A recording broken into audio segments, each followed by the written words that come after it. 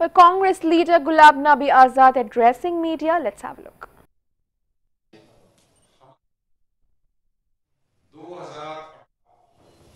कई हज़ार छोटे और मध्यम दर्जे के उद्योग बंद हो गए उन छोटे और मध्यम दर्जे के उद्योगों से जो तुरंत नुकसान हुआ चार करोड़ तिहत्तर लाख लोग जो उनमें काम करते थे, वो मजदूर भी थे,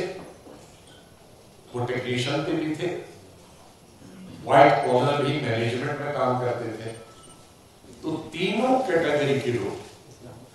चाहे इन छोटे और मध्यम दर्जे के उद्योगों में व्हाइट कलर लोग या कोई टेक्निकल काम करने वाले थे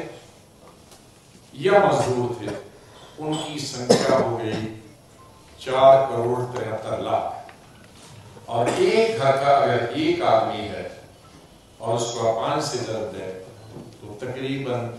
24 करोड़ लोग जो इस देश के almost one fourth of the population इस कंट्री की मोदी साहब ने ढेर कर दी अनएम्प्लॉयड तो इसीलिए मैंने कहा कि दुनिया की विश्व के पहली प्रधानमंत्री है जो एम्प्लॉयमेंट जनरेटर के बजाय एम्प्लॉयमेंट डिस्ट्रॉय के नाम से आने वाली हिस्ट्री बुक्स में लिखा है। और एनएसएस एनएसएसओ की जो सर्वे निकली है, उसमें कहा कि सबसे ज़्यादा जो अनएम्प्लॉयमेंट पैंतालीस साल है, मोदी साहब के वक्त में और रूरल एम्प्लॉयमेंट में 30 percent unemployment generate banking sector पहली दफ़ा एक रिज़र्व बैंक का गवर्नर भाग गया दूसरे ने इस्तीफा दिया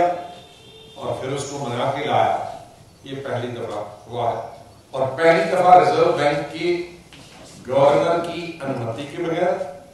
और कैबिनेट की अनुमति के बगैर नोटबंदी हुई है, इसके लिए भी मोदी जी हमेशा हिंदुस्तान की हिस्ट्री में याद रहेंगे। और इन